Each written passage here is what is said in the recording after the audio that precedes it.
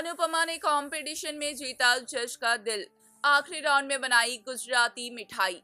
बाके उड़े होश। जी हाँ दरअसल हम बात कर रहे हैं स्टार प्लस पर टेलीकास्ट होने वाले पॉपुलर शो अनुपमा की, जिसका आने वाला एपिसोड काफ़ी ज़्यादा इंटेंस होने वाला है। शो के अपकमिंग ट्रैक में हम देखेंगे कि किस तरीके से अनुपमा अपना सपना पूरा करने के आखिरी तौर पे होगी, जहाँ पर अनुपमा के सामने एक बड़ी चुनौती आकर खड़ी हो जाती है। यहाँ अनुपमा को कुछ बहुत ही ज़्यादा स्पेशल और अलग बनाना होता है, जो कि अनुपमा ने इंडियन खाने के अलावा और कुछ खास बनाना नहीं सीखा है। तो ऐसे में अनुपमा आखिरी राउंड में भी इंडियन खाना बनाने का फैसला लेती है।